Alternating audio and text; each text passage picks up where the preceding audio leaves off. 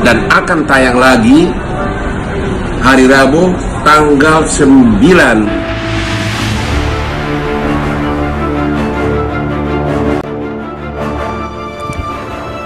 KPI stop acara Hotman Paris Show.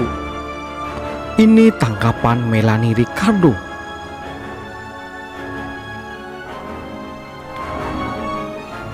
Program acara Hotman Paris mendapat sanksi dari Komisi Penyiaran Indonesia berupa penghentian tayang sementara.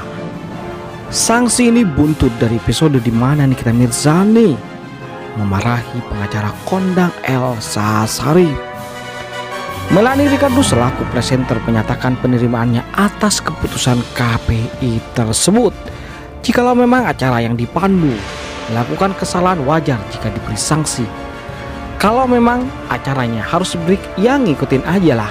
Harus menghargai dong keputusan KPI karena kita bekerja ada yang mengatur, kata Melani. Selama bekerja Melani Ricardo merasa sudah berhati-hati dalam bertutur dan bersikap karena setiap program televisi memang diawasi oleh KPI.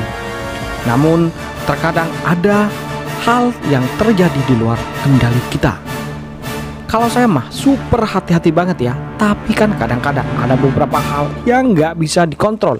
Itu menjadi pembelajaran buat semua ibu istri Tyson tersebut.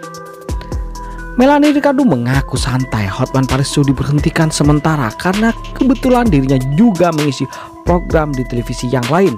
Kalau itu berhentikan saya juga masih punya acara yang lain. Maksudnya kan itu konsekuensi dari kejadian kemarin Namanya bekerja ya harus seperti itu. Kita ngikutin aja tutupnya. Lalu terkait hal ini bagaimana menurut kalian guys? Jangan lupa like, comment, tentunya subscribe. Terima kasih telah menonton.